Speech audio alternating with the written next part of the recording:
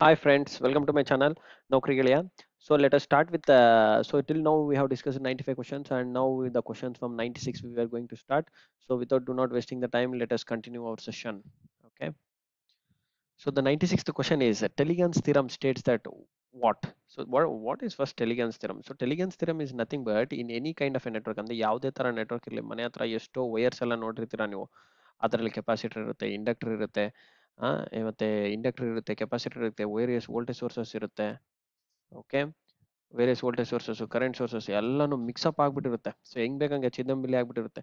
So ಈ ತರ ನೆಟ್ವರ್ಕ್ಸ್ಗೆ ಎಷ್ಟೋ ತರ ನಾವು ವೋಲ್ಟೇಜ್ ಸೋರ್ಸಸ್ ಕೊಡ್ತೀವಿ. ವೋಲ್ಟೇಜ್ ಸೋರ್ಸ್ ಅಂದೇನು ಪವರ್ ಜನರೇಟಿಂಗ್ ಸ್ಟೇಷನ್ಸ್ ಕೊಡೋ ಫೀಡ್ ಮಾಡುವಂತಹ power power generating stations feed ಮಾಡುವಂತಹ ಪವರ್ ಏನು? ಹೈಡ್ರೋ ಪವರ್ ಇರ್ಬೋದು ಇಲ್ಲ ಡೀಸೆಲ್ ಜನರೇಟರ್ ಇಂದ ಬರೋ ಪವರ್ ಇರ್ಬೋದು ಕೆ ಪಿ ಸಿ ಎಲ್ ಇಂದ ಬರ್ತಿರೋ ಥರ್ಮಲ್ ಪವರ್ ಜನರೇಷನ್ ಇರ್ಬೋದು.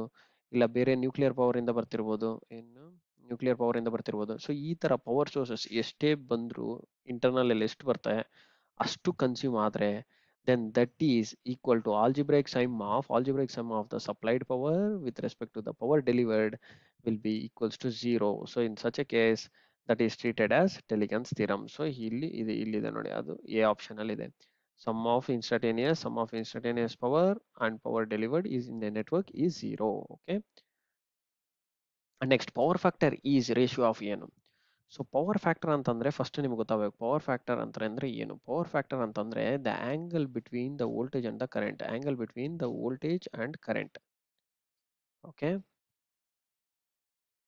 angle between voltage and current angle between voltage and current is a power call is called as power factor or in general term it is called as ratio of active power or useful power. You know active power or useful power? Useful power to the apparent power is also called as power factor. So another term there you know the ratio of resistance to impedance is called a power factor. So ಈ power factor ಅನ್ನೋದು ಏನು important ರೋಲ್ನ play ಮಾಡುತ್ತೆ ಅಂತಂದ್ರೆ, ನೋಡಿ power factor ನಮ್ಗೆ ಏನಕ್ಕೆ ಬೇಕು? ಇವಾಗ ಯಾವುದೇ ತರ ಮನೇಲಿ ಒಂದು ಲೋಡ್ ಆಗ್ತೀರಾ ಏನು ಒಂದು ಮೋಟಾರ್ ಇರ್ಬೋದು, ಒಂದು ಫ್ಯಾನ್ ಇರ್ಬೋದು ಓಕೆ ಒಂದು ಫ್ಯಾನ್ ಇರ್ಬೋದು, ಒಂದು ಟ್ಯೂಬ್ ಲೈಟ್ಸ್ ಇರ್ಬೋದು, ಇವೆಲ್ಲ ಯಾವುದೇ ಒಂಥರ ಪ್ಯಾಸಿವ್ ಲೋಡ್ಸ್ ಏನು? ಪ್ಯಾಸಿವ್ ಲೋಡ್ಸ್ ಟರ್ಮ್ ನೆನ್ಪಿಟ್ಕೊಳ್ಳಿ ಪ್ಯಾಸಿವ್ ಲೋಡ್ಸ್ ಪ್ಯಾಸಿವ್ ಲೋಡ್ಸ್ ಅಂದ್ರೆ ನಾನು ಆಲ್ರೆಡಿ ಏನು ಹೇಳಿದ್ದೆ ನಿಮಗೆ resistor capacitor inductor and diode okay ಇವೆಲ್ಲ passive loads resistor, capacitor, inductor and diode. So ಇವೆಲ್ಲ ಪ್ಯಾಸಿವ್ ಲೋಡ್ಸ್ ಆಗುತ್ತೆ. ಯಾವುದೇ ತರ ಪ್ಯಾಸಿವ್ ಲೋಡ್ಸ್ ಅಲ್ಲಿ ವೋಲ್ಟೇಜ್ನ ಫೀಡ್ ಮಾಡಿದೀವಿ ಅಂತ ಅಂದ್ರೆ ಏನಾಗುತ್ತೆ? ಅದು ನಮಗೆ ಫ್ಲಕ್ಚುಯೇಟ್ ಆಗುತ್ತೆ. ಏನು? ಕರೆಂಟ್ ಫ್ಲಕ್ಚುಯೇಟ್ ಆಗುತ್ತೆ. ಯಾಕೆ ಅಂತಂದ್ರೆ ವೋಲ್ಟೇಜ್ ಇಲ್ಲಿ ಡ್ರಾಪ್ ಆಗುತ್ತೆ. ಕೊಟ್ಟಿರೋ ವೋಲ್ಟೇಜ್ ಎರಡ್ ನೂರ ಇಪ್ಪತ್ತು ವೋಲ್ಟ್ಸ್ ಕೊಟ್ಟರೆ ಇದೆಲ್ಲದಕ್ಕೂ ಪವರ್ ಸಪ್ಲೈ ಮಾಡಿದ್ಮೇಲೆ ನಮ್ಮ ಹತ್ರ ಎರಡು ನೂರ ಇಪ್ಪತ್ತಿರಲ್ಲ ಎರಡು ನೂರ ಹತ್ತು ಆ ಥರ ಆಗಿರುತ್ತೆ. ಇನ್ನು ಹತ್ತು ವೋಲ್ಟ್ಸ್ ಎಲ್ಲಿ ಹೋಗಿರುತ್ತೆ? ಇಲ್ಲೆಲ್ಲೆಲ್ಲೋ ಡ್ರಾಪ್ ಆಗ್ಬಿಟ್ಟಿರುತ್ತೆ. ಈ ಸಪ್ಲೈಸ್ ಈ ಎಕ್ವಿಪ್ಮೆಂಟ್ಸ್ ಇರ್ತಾವಲ್ಲ ಎಕ್ವಿಪ್ಮೆಂಟ್ಸ್ ಹತ್ರ ಡ್ರಾಪ್ ಆಗಿರುತ್ತೆ. ಸೊ ಅದು ಯಾಕೆ ಡ್ರಾಪ್ ಆಗುತ್ತೆ? ನಾವು ಕೊಟ್ಟಿರೋ ಪವರ್ ಕಂಪ್ಲೀಟ್ ಆಗಿ ಟೂ ಟ್ವೆಂಟಿ ವೋಲ್ಟ್ಸ್ ವೋಲ್ಟೇಜ್ ಕೊಟ್ಟಿರ್ತೀವಿ. ಕರೆಂಟ್ ಇದಕ್ಕೆ ಎಷ್ಟು ಬೇಕು ಅಷ್ಟು ಕರೆಂಟ್ ಕನ್ಸ್ಯೂಮ್ ಆಗಲ್ಲ. ಇದ್ರದ್ದು ರೇಟಿಂಗ್ ಬಂದ್ಬಿಟ್ಟು ಫೈವ್ ಆಮ್ಸ್ ಅಂತ ಇರುತ್ತೆ. ಮೋಟರ್ ರೇಟಿಂಗ್ ಫೈವ್ ಆಮ್ಸ್ ಇರುತ್ತೆ. ಫ್ಯಾನ್ ರೇಟಿಂಗ್ ಟೂ ಆಮ್ಸ್ ಅಂತ ಇರುತ್ತೆ. ಟ್ಯೂಬ್ಲೈಟ್ದು ಪಾಯಿಂಟ್ ಫೈವ್ ಆಮ್ಸ್ ಅಂತ ಇರುತ್ತೆ. ಸೊ ಇಷ್ಟು ಆಮ್ಸ್ ಕನ್ಸ್ಯೂಮ್ ಆಗಲ್ಲ. ನಮಗೆ ಪಾಯಿಂಟ್ ಫೋರು ಇಲ್ಲ ಪಾ ಒನ್ ಆ್ಯಮ್ಸು ಇಲ್ಲ ಫೋ ಫೋರ್ ಆ್ಯಮ್ಸು ಈ ಥರ ಕನ್ಸ್ಯೂಮ್ ಆಗುತ್ತೆ. ಯಾಕೆ ಅಂತಂದ್ರೆ ಆ ಒನ್ ಆಮ್ಸ್ ತಗೊಳೋ ಲೋಡ್ ಕಂಪ್ಲೀಟ್ ಆಗಿ ತಗೊಳುತ್ತೆ. ಬಟ್ ಕನ್ಸ್ಯೂಮ್ ಆಗೋದು ಅಷ್ಟೇ ಯೂಸ್ಫುಲ್ ಆಗಿ ನಾವು ಯೂಸ್ ಮಾಡೋದು ಬರೀ four amps one amps point four amps ಇನ್ನು ಉಳಿದಿರೋದು ಎಲ್ಲೋಯ್ತು? ವೇಸ್ಟ್ ಆಯ್ತು. ಯಾಕೆ ವೇಸ್ಟ್ ಆಯಿತು? Due to the inductive capacitive and resistive loads ಇವೆಲ್ಲ ಪ್ಯೂರ್ ಇರಲ್ಲ. ಪ್ಯೂರ್ ಇತ್ತು ಅಂತ ಅಂದಾಗ ಪವರ್ ಫ್ಯಾಕ್ಟರ್ ನಮಗೆ ಝೀರೋ ಇರುತ್ತೆ. ಏನು pure pure inductive capacitive or resistive loads ಇತ್ತು ಅಂತಂದ್ರೆ ನಮಗೆ ಪವರ್ ಫ್ಯಾಕ್ಟರ್ ಝೀರೋ ಇರುತ್ತೆ. ಯಾಕೆ ಅಂತಂದ್ರೆ pure capacitor inductive loads all loads ಅಲ್ಲಿ angle zero angle ninety degree ಇರುತ್ತೆ. So cos of ninety degree ಅಂತ ಹಾಕಿದ್ರೆ ನಿಮಗೆ ಬರೋದು value zero cos ninety zero okay and ಅದೇ ನೀವು cos of zero degree zero degree ಅಂದ್ರೆ ಇನ್ ಫೇಸ್ ಸೊ ವೋಲ್ಟೇಜು ಮತ್ತೆ ಕರೆಂಟ್ ಎರಡು ಒಂದೇ ಲೈನ್ ಮೇಲೆ ಲೈ ಆಗಿರಬೇಕು. ವೋಲ್ಟೇಜ್ ಮತ್ತೆ ಕರೆಂಟ್ ಝೀರೋ ಡಿಗ್ರಿ ಇರುತ್ತೆ ಅವಾಗ. ಅವಾಗ ಏನಾಗುತ್ತೆ ಪರ್ಫೆಕ್ಟ್ ಯೂನಿಟ್ ಇದು ನಾವು ಆಕ್ಚುಲಿ ಮೇಂಟೈನ್ ಮಾಡಬೇಕಿತ್ತು ಅಂದ್ರೆ ಯಾವುದೇ ತರದ ಲಾಸ್ ಇರಬಾರ್ದು. ಆ ಲಾಸ್ ಆಗಬಾರ್ದು ಅಂತಂದ್ರೆ ನಾವೇನ್ ಮಾಡಬೇಕು? ಪವರ್ ಫ್ಯಾಕ್ಟರ್ ಬಗ್ಗೆ ತಿಳ್ಕೊಬೇಕು. So now the power factor ratio is defined as active ratio of active power to the apparent power ratio of resistance to impedance or it is also called is ನೋಡಿ. B both A and B ಅಂತ ಕೊಟ್ಟಿದ್ದಾರೆ. So A and B so the right answer will be C okay or in another case ಏನ್ ಹೇಳಿದೆ ನಾನು? Voltage to inductive some angle ಇರುತ್ತೆ. Okay so this is what we call it as power factor ಇವಾಗ power factor ಏನಕ್ಕೆ important ಅನ್ನೋದ್ರ thing ಇದೆ. So ಇಷ್ಟೆಲ್ಲ load loss ಆಯ್ತು ನಮಗೆ. ಪವರ್ನ ನಾವು ಇಲ್ಲೆಲ್ಲೂ ಕನ್ಸ್ಯೂಮ್ ಮಾಡಿಬಿಟ್ಟಿವಿ ಯೂಸ್ ವೇಸ್ಟ್ಫುಲ್ ಆಗಿದೆ. ಅದನ್ನ ಹೆಂಗ್ ಓವರ್ಕಮ್ ಮಾಡ್ಬೇಕು? ಅದಕ್ಕೆ ನಾವೇನಂತ ಕರಿತೀವಿ? ಪವರ್ ಫ್ಯಾಕ್ಟರ್ ಕಂಪೆನ್ಸೇಷನ್ ಅಂತ ಕರಿತೀವಿ. Power factor compensation or power factor correction okay ಯಾವ ಮೆಥಡ್ಸ್ ತ್ರೀ ಮೆಥಡ್ಸ್ ಇದಾವೆ. ಓಕೆ ಒಂದು ನಿಮಿಷ. ಎಷ್ಟಿದಾವೆ? ತ್ರೀ ಮೆಥಡ್ಸ್ ಇದೆ. First method first method condensers use ಮಾಡಿ ಮಾಡೋದು. ಕಂಡೆನ್ಸರ್ಸ್ ಅಥವಾ ಕೆಪಾಸಿಟರ್ಸ್ ಅಂತ ಕರಿಬೋದು ನೀವು ಅದನ್ನ. ಓಕೆ ಸೆಕೆಂಡ್ ಬಂದ್ಬಿಟ್ಟು synchronous inductors synchronous generators inductors ಅಲ್ಲ generators when they are over excited ನೆನ್ಪಿಟ್ಕೊಳ್ಳಿ when they are over excited ಮತ್ತೆ ಥರ್ಡ್ ಬಂದು ಬ್ಯಾಂಕ್ಸ್ ಏನ್ banks filter banks filter ಅಂತಂದೇನು? Inductor filter filters filters or banks is nothing but a combination of L and C circuits combination of L and C circuits combination of L ಅಂತಂದೆ inductor combination of inductor and capacitor ಅಂತ meaning ಅದು ಈ ತರ formation ಅಲ್ಲಿ ಇರುತ್ತೆ. ಒಂದು delta formation ಅಲ್ಲಿ capacitors ಇರ್ತವೆ, ಇಲ್ಲ ಸ್ಟಾರ್ ಫಾರ್ಮೇಶನ್ ಅಲ್ಲಿ ಇರುತ್ತೆ, ಈ ತರ. ಇದನ್ನ ನಾವು ನೆಟ್ವರ್ಕ್ ಫೀಡ್ ಮಾಡಿರ್ತೀವಿ. ಸೊ ಈ ಮೂರು ಮೆಥಡ್ಸ್ ಇಂದ ನಾವು ಈ ಪವರ್ ಫ್ಯಾಕ್ಟರ್ನ ಕರೆಕ್ಷನ್ ಮಾಡ್ಬೋದು. ಅಂದ್ರೆ ಏನಕ್ಕೆ ಮಾಡ್ಬೋದು? ಲಾಸ್ ಇಲ್ಲದೆ ಇರೋ ತರ ಮಾಡೋದಕ್ಕಾಗಿ ನಾವು ಇದನ್ನ ಇದರಲ್ಲಿ ಯಾವುದೇ ಒಂದು ಮೆಥಡ್ ಯೂಸ್ ಮಾಡಬೇಕಾಗುತ್ತೆ. ಓಕೆ ಇದನ್ನೆಲ್ಲ ಗ್ರಿಡ್ ಅಲ್ಲಿ ಮಾಡ್ತಾರೆ. ಈಗ ಇಲ್ಲೇನ್ ಮಾಡಲ್ಲ. ನಮ್ಮ ಮನೆ ಹತ್ರ ನಾವು ಇಷ್ಟೆಲ್ಲ ಲೋಡ್ ಯೂಸ್ ಮಾಡ್ತೀವಿ. ನಮ್ಮ ಮನೆ ಹತ್ರ ಯಾಕೆ ಮಾಡಲ್ಲ? ಪವರ್ ಫ್ಯಾಕ್ಟರ್ ಕರೆಕ್ಷನ್ ಅಂತ ಯಾರನ್ನ ಕ್ವಶನ್ ಕೇಳ್ಬೋದು. ಬಟ್ ಆ ತರ ನಾವು ಇಲ್ಲಿ ಮಾಡೋಕ್ಕಾಗಲ್ಲ. Only at the grid place ಅಲ್ಲಿ ಮಾಡ್ತಾರೆ. ಯಾಕಂದ್ರೆ ಅದಕ್ಕೆಲ್ಲ ಹ್ಯೂಜ್ ಇನ್ವೆಸ್ಟ್ಮೆಂಟ್ ಬೇಕಾಗುತ್ತೆ. ಹಾರ್ಮೋನಿಕ್ಸ್ ಮೇಂಟೈನ್ ಮಾಡಬೇಕಾಗುತ್ತೆ. ಫ್ರೀಕ್ವೆನ್ಸಿನ ಮೇಂಟೈನ್ ಮಾಡಬೇಕು. ಓಕೆ ಫ್ರೆಂಡ್ಸ್ ಫ್ರೀಕ್ವೆನ್ಸಿ ಅಂತ ನೆನಪಾಯ್ತು. ನಮ್ಮ ಮನೆಯಲ್ಲಿ ಓಡೋ ಫ್ರೀಕ್ವೆನ್ಸಿ ಯಾವುದು ನೆನಪಿದೆ ಅಲ್ಲ? ನಿಮಗೆಲ್ಲ fifty hertz okay U S ಅಲ್ಲಿ ಕೇಳಿದ್ರೆ ಅದು ಸಿಕ್ಸ್ಟಿ ಹರ್ಡ್ಸ್ ಇರುತ್ತೆ. Okay going to next question. Surge impedance loading unit ಇದು ವೆರಿ ಇಂಪಾರ್ಟೆಂಟ್ ಸರ್ಚ್ ಇಂಪಿಡೆನ್ಸ್ ಲೋಡಿಂಗ್ನ ನಾವೇನಂತ ಕರಿತೀವಿ? ಎಸ್ ಐ ಎಲ್ ಅಂತಾನು ಕರಿತೀವಿ. ಇದ್ರದ್ದು unit is nothing but watt ಇರುತ್ತೆ. ಓಕೆ ಆರ್ ಮೆಗಾ ವ್ಯಾಟ್ ಅಂತಾನು ಕರಿಬಹುದು ಸರ್ಚ್ ಇಂಪಿಡೆನ್ಸ್ ಲೋಡಿಂಗ್ ಅಂದ್ರೆ ಏನು first surge impedance loading surges ಅಂದ್ರೆ ಏನು? ಈ ತರ ಹೋಗೋದು ಸ್ಪೈಕ್ ಹೆಂಗ್ ಬೇಕಂಗ್ ಹೋಗ್ಬಿಡುತ್ತೆ. ಏನಿದು? ಸರ್ಜ್ ಅಂದ್ರೆ ಇಂಪಿಡೆನ್ಸ್ ಹೋಗೋ ಸ್ಪೈಕ್ ಇಂಪಿಡೆನ್ಸ್ ವೇರಿಯೇಷನ್ ಆ ಥರ ಇರುತ್ತೆ. ಯಾವಾಗ? ಲೋಡಿಂಗ್ ಆದಾಗ. ಇದು ಎಲ್ಲಿ ನಡೆಯುತ್ತೆ? ಟ್ರಾನ್ಸ್ಮಿಷನ್ ಲೈನ್ಸ್ ಇವಾಗ ಇಲ್ಲೆಲ್ಲೋ ಕೆ ಪಿ ಸಿ ಇದೆ ಜನರೇಟಿಂಗ್ ಪ್ಲಾಂಟ್ ಅಲ್ಲಿಂದ ನಾವು ಟ್ರಾನ್ಸ್ಮಿಷನ್ ಲೈನ್ಸ್ ಹಾಕೊಂಡಿದೀವಿ. ಎಷ್ಟು? Two twenty K V transmission lines ಇರುತ್ತೆ. ಈ transmission lines very long lines ಇರುತ್ತೆ. ಓಕೆ ಲಾಂಗ್ ಟ್ರಾನ್ಸ್ಮಿಷನ್ ಲೈನ್ಸ್ ಇರುತ್ತೆ. ಲಾಂಗ್ ಟ್ರಾನ್ಸ್ಮಿಷನ್ ಲೈನ್ಸ್ ಇದೆ ಅಂತ ಅಂದ್ಮೇಲೆ ಅದರಲ್ಲಿ ರೆಸಿಸ್ಟೆನ್ಸ್ ಇರುತ್ತೆ. ಮತ್ತೆ ಕೆಪಾಸಿಟರ್ಸ್ ಇರುತ್ತೆ.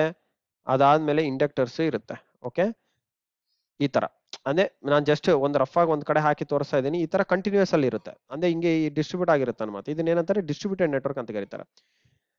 ಈ ತರ ಇದ್ದಾಗ ನಮ್ಗೆ ಏನಿರುತ್ತೆ? ಇಂಪಿಡೆನ್ಸ್ ಲೋಡ್ ಆಗುತ್ತೆ. ಇದೆಲ್ಲದ್ರದ್ದು ಇಂಪಿಡೆನ್ಸ್ ಹೊರಗೆ ತಗೊಂಡ್ರೆ ನಮ್ಗೆ Z is equals to R plus of X L minus of X E square ಈ ತರ R square into whole square ಈ ತರ ಇರುತ್ತೆ. So Z square is equals to ಈ ತರ, ಇದು ಫಾರ್ಮುಲಾ ಸೊ ಇಂಪಿಡೆನ್ಸ್ ಈ ತರ ಇರುತ್ತೆ. ಸೊ ಇಂಪಿಡೆನ್ಸ್ ಅಂತ ಅಂದ್ರೆ ಒಂದು ಯಾವುದೇ ಕರೆಂಟ್ನ ಫ್ಲೋ ಆಗೋದನ್ನ ಅಬ್ಸ್ಟ್ರಕ್ಟ್ ಮಾಡುತ್ತೆ. That is called as impedance okay which obstructs the flow of current is called resistance and which allows the flow of current is called impedance obstruct ಅಲ್ಲ which allows the flow of current is called impedance ಅಂದ್ರೆ just reciprocal of resistance is called impedance so ನಾವು ಎಷ್ಟು hello ಮಾಡಕ್ಕಾಗುತ್ತೆ? ಅದು ಸರ್ಜಿ ಏನು? ಅದನ್ನ ಅದ್ರ ಬಗ್ಗೆ ತಿಳ್ಕೊಂಡ್ರೆ ಸರ್ಜ್ ಇಂಪಿಡೆನ್ಸ್ ಲೋಡಿಂಗ್ ಇದನ್ನ ನಾವು ಟ್ರಾನ್ಸ್ಮಿಷನ್ ಲೈನ್ಸ್ ಅಲ್ಲಿ ಅಪ್ಲಿಕೇಬಲ್ ಆಗುತ್ತೆ. ನೆನ್ಪಿಟ್ಕೊಳ್ಳಿ. These are applicable only in transmission lines okay transmission lines ಅಲ್ಲಿ ಅಪ್ಲಿಕೇಬಲ್ ಆಗುತ್ತೆ. ಸೊ ಇದ್ರದ್ದು ಯೂನಿಟ್ ಬಂದು ವ್ಯಾಟ್ಸ್ ಆಗಿರುತ್ತೆ ಫ್ರೆಂಡ್ಸ್ ವ್ಯಾಟ್ಸ್ ಆಗಿರುತ್ತೆ. ಇವಾಗ ನಾನು ಎರಡು ಇಂಪಾರ್ಟೆಂಟ್ ಫಾರ್ಮುಲಾಸ್ ಬರ್ತೀನಿ. ಎಸ್ ಐ ಎಲ್ ಅನ್ನೋದು ಇಂಪಾರ್ಟೆಂಟ್ ಫಾರ್ಮುಲಾ ಏನಂತಂದ್ರೆ square root of L by C ಇದು ಯಾವಾಗ? ಲಾಸ್ಲೆಸ್ ಲೈನ್ ಅಲ್ಲಿ. ಲಾಸ್ ಲೆಸ್ ಲೈನ್ ಅಲ್ಲಿ. Surge impedance loading formula will be square root of L by C ಅವ್ರು ಏನಾದರೂ values L and C value ಕೊಟ್ಟು for a lossless line please find the surge impedance loading ಅಂದರೆ ಈ ಫಾರ್ಮುಲಾನಲ್ಲಿ ವ್ಯಾಲ್ಯೂಸ್ನ input ಮಾಡಿ inductance value resistance value ಮಾಡಿದ್ರೆ ನಿಮ್ಗೆ ವ್ಯಾಲ್ಯೂ ಸಿಕ್ಬಿಡುತ್ತೆ. ಇನ್ನೊಂದು ಫಾರ್ಮುಲಾ ಜನರಲ್ ಫಾರ್ಮುಲಾ ಏನಂತಂದ್ರೆ surge impedance loading is nothing but V L into V L divided by Z C or Z naught okay ಇದನ್ನ ನೀವು ಹೆಂಗ್ ಬರಿಬೋದು? V L square divided by Z naught is nothing but surge impedance loading. Okay, ಇದು ಒಂದು formula, okay? Quality factor quality factor ಅಂದ್ರೆ ಏನು? ನಾನು already ಹೇಳಿದ್ದೆ ನಿಮಗೆ ಕ್ವಾಲಿಟಿ ಫ್ಯಾಕ್ಟರ್ ಅನ್ನೋದು ರಿಸನೆನ್ಸ್ ಅಲ್ಲಿ ಅಪ್ಲಿಕೇಬಲ್ ಆಗುತ್ತೆ. Either the circuit is series or parallel resonance is applicable resonance okay resonance is applicable ಇದರಲ್ಲಿ quality factor quality factor in series circuit ಅಲ್ಲಿ ತಗೊಂಡ್ರೆ ನೀವು ಕ್ವಾಲಿಟಿ ಫ್ಯಾಕ್ಟರ್ ಇನ್ ಸೀರೀಸ್ ಅಲ್ಲಿ ಕನ್ಸಿಡರ್ ಮಾಡಿದ್ರೆ one by R root of L by C ಬರುತ್ತೆ. And in parallel circuit ಅಲ್ಲಿ ತಗೊಂಡ್ರೆ just reciprocal R root of C by L okay ಇದ್ರ ಪ್ರಕಾರ ಇಲ್ಲಿ ನೋಡಿ ಟಿಕ್ ಮಾಡಿ. That is B how many watt meters are required to measure power in polyphase system ಅಂತ ಅಂದ್ರೆ ಪಾಲಿಫೇಸ್ ಸಿಸ್ಟಮ್ ಅಂದ್ರೆ ಏನ್ meaning polyphase system is nothing but N phases N phases ಅಂದ್ರೆ ಲೆಕ್ಕ ಹಾಕದೇ ಇರೋ ಅಷ್ಟು ಫೇಸಸ್ ನಮ್ಮ ಮನೆಗೆ ಬರೋ ಫೇಸ್ ಎಷ್ಟು? ಸಿಂಗಲ್ ಫೇಸ್ ಇರುತ್ತೆ. ಇದು ಫೇ ಫೈ ಅನ್ನೋದು phase symbol okay single phase ಇರುತ್ತೆ. ಅಥವಾ ಇಂಡಸ್ಟ್ರೀಸ್ಗೆ ಹೋಗಿದ್ರೆ ಅದ್ರಲ್ಲಿ ನೋಡಿ ತ್ರೀ ಫೇಸ್ ಇರುತ್ತೆ. ಇನ್ನು ಮ್ಯಾಕ್ಸಿಮಮ್ ಫೇಸ್ ನಾನಂತೂ ನೋಡಿಲ್ಲ. ನೀವೆಲ್ಲ ನೋಡಿದ್ರೆ ನನಗೆ ಹೇಳಿ. ಕಮೆಂಟ್ ಬಾಕ್ಸಲ್ಲಿ ಬರೀರಿ ಸೊ ತ್ರೀ ಫೇಸ್ ಮ್ಯಾಕ್ಸಿಮಮ್ ನಾನು ನೋಡಿರೋದು ಸಿಂಗಲ್ ಫೇಸ್ ಸೊ ಈಗ, ಇದು ಎನ್ ಅನ್ನೋದು ಟರ್ಮ್ ಏನಾಗುತ್ತೆ? ಎನ್ ಅಂದ್ರೆ ಫೇಸಸ್ ಓಕೆ ನೆನ್ಪಿಟ್ಕೊಳ್ಳಿ, ಎನ್ ಅಂದ್ರೆ ಫೇಸಸ್ ಇವಾಗ ಪಾಲಿ ಅಂತಂದ್ರೆ ಲೆಕ್ಕ ಹಾಕದೇ ಇರೋ ಅಷ್ಟು ಫೇಸಸ್ ಸೊ ಆಗ watt meters for measuring the power. ಪವರ್ನ measure ಮಾಡೋಕ್ಕೆ ಯೂಸ್ ಮಾಡೋದು ಎಕ್ವಿಪ್ಮೆಂಟ್ ಏನು? ಯಾರ್ ಇನ್ಸ್ಟ್ರೂಮೆಂಟ್ ಏನು? ವ್ಯಾಟ್ ಮೀಟರ್ಸ್ ಓಕೆ ಪವರ್ನ ಯೂಸ್ ಮಾಡೋಕ್ಕೆ, ಪವರ್ನ ಮೆಷರ್ ಮಾಡೋಕ್ಕೆ ಯೂಸ್ ಮಾಡೋ instrument name is watt meters ಅದ್ರದ್ದು ಯೂನಿಟ್ ಏನಿರುತ್ತೆ? ವ್ಯಾಟ್ ಹವರ್ ಇರುತ್ತೆ. ಆರ್ ಕಿಲೋ ವ್ಯಾಟ್ ಹವರ್ ಇರುತ್ತೆ. ಇದನ್ನ ನಾನು ಆಲ್ರೆಡಿ ನಿಮಗೆ ಇದರಲ್ಲಿ ಹೇಳಿದ್ದೆ. ಪವರ್ ಫ್ಯಾಕ್ಟರ್ ಬಗ್ಗೆ ಪವರ್ ಬಗ್ಗೆ ಮೆಷರ್ ಮಾಡಬೇಕಾದಾಗ ನಾನು ತಿಳಿಸಿದ್ದೆ ನಿಮಗೆ ಮೀಟರ್ ಬಗ್ಗೆ. ಸೊ ಈಗ ಅಷ್ಟು ಫೇಸಸ್ ಅಂತ ಅಂದ್ರೆ N minus one is equals to number of meters okay number of watt meters number of watt meters N ಅಂತಂದ್ರೆ ಏನು? ಹೇಳಿದ್ದೀನಿ ಫೇಸಸ್ ಸೊ ಇವಾಗ ಫಾರ್ ಎಕ್ಸಾಂಪಲ್ ತ್ರೀ ಫೇಸ್ ಇದೆ ಅಂದ್ರೆ ಎಷ್ಟು ವ್ಯಾಟ್ ಮೀಟರ್ ಬೇಕು ನಮಗೆ? ತ್ರೀ ಫೇಸಸ್ ಇದೆ ಅಂತಂದ್ರೆ just three minus one equals two watt meters ಬೇಕು. ನಿಮಗೆ ಕ್ವಶನ್ ಬರ್ಬೋದು. ಟೂ ವ್ಯಾಟ್ ಮೀಟರ್ಸ್ ಎಲ್ಲಿ ಸರ್ ನಾವು ಕನೆಕ್ಟ್ ಮಾಡಬೇಕು ಅಂತ? ಇವಾಗ ತ್ರೀ ಫೇಸ್ ಲೈನ್ ಈ ತರ ಇದೆ ಅಂತಂದ್ರೆ, ಇಲ್ಲಿ ಒಂದು ಕನೆಕ್ಟ್ ಮಾಡ್ತೀರಾ? ಓಕೆ ಇಲ್ಲೊಂದು ಕನೆಕ್ಟ್ ಮಾಡ್ತೀರಾ? ಓಕೆ ಈ ತರ. ಅರ್ಥ ಆಯ್ತಾ? ಇದು ಒಂದು ವ್ಯಾಟ್ ಮೀಟರ್ ಪಿ ಒನ್ ಇದು ಒಂದು watt meter P two okay so ಈ ತರ ಇರುತ್ತೆ. So three phase line R Y B ಅಂತ ತಗೊಂಡ್ರೆ. ಓಕೆ ಥ್ಯಾಂಕ್ ಯು ಗೈಸ್ ಇದೇ ತರ ತುಂಬ ವಿಡಿಯೋಸ್ ಮಾಡ್ತಾ ಇರ್ತೀನಿ. ನಿಮ್ಗೆ ಏನಾದರೂ ಕ್ವಶನ್ಸ್ ಇನ್ನೂ ಮಾಡ್ಬೇಕು ಅನ್ಕೊಂಡ್ರೆ ಯಾವ್ದು ಬಗ್ಗೆ ಯಾವ್ದು ಸಬ್ಜೆಕ್ಟ್ ಬಗ್ಗೆ ಮಾಡ್ಬೇಕು ಅನ್ಕೊಂಡ್ರೆ ಕಮೆಂಟ್ ಬಾಕ್ಸ್ ಅಲ್ಲಿ ಕಮೆಂಟ್ ಮಾಡಿ so that I will try to make the best content for you guys for the examination purpose the right answer is N minus one okay thank you guys for watching like ಮಾಡಿ subscribe ಮಾಡಿ ವಿಡಿಯೋಸ್ನ share ಮಾಡಿ. ತುಂಬಾ ಜನಕ್ಕೆ help ಆಗಲಿ. Wish you all the best guys for all the types of exam